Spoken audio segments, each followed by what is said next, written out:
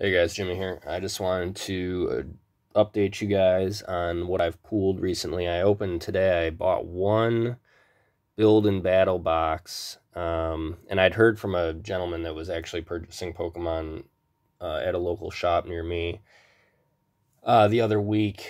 Um, he said he'd pulled quite a bit uh, from those build and battle boxes when he got them. You know, he'd gotten them before they hit the before the street release date.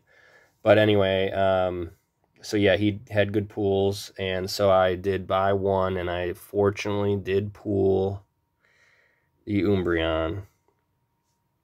And yeah, I was pretty excited about it. I would have, I personally prefer the Rayquaza. I would have liked the Rayquaza V, but when I actually saw this, I mean, it is it is a stunning looking card, and the, the video really can't do it justice. Uh, you have like this light.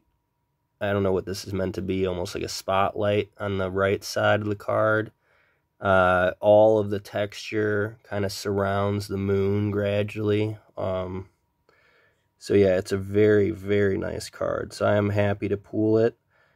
Uh, I also took a little road trip and on the road trip I was able to pool this as well you know, obviously not as exciting as the Umbreon. But I did pool this. Uh, I don't think I got any other V's or anything like that. So this was pretty much all I'd gotten while I was on the road trip. But still a nice card. I prefer it to Bronzong and whatever other uh, secret rares, uh, secret shiny rares are in this evolving skies. So uh, but I also wanted to share some code cards really quick with you guys. Thanks for kind of keeping tabs on my pools here. But I hope you guys, you know, have good luck.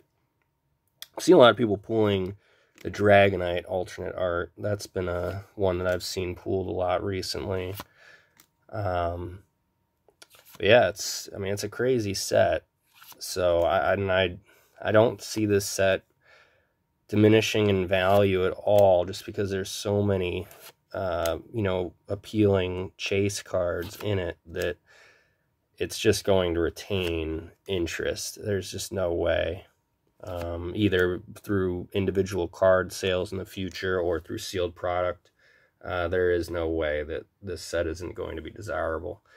So, but anyway, thanks guys again for viewing. I hope you guys got some of the codes, and I'll see you in the next video.